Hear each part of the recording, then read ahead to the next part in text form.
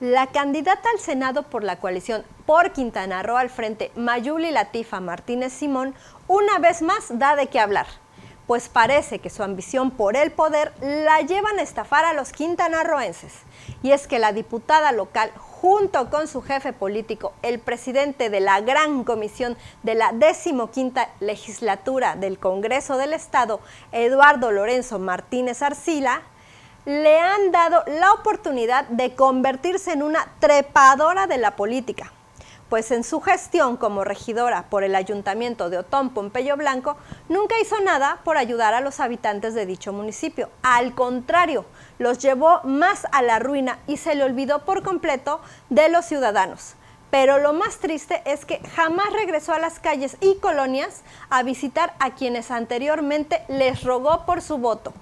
y hoy vuelve a pedir una vez más el voto a quienes defraudó, sin darle ni tantita vergüenza que son los mismos.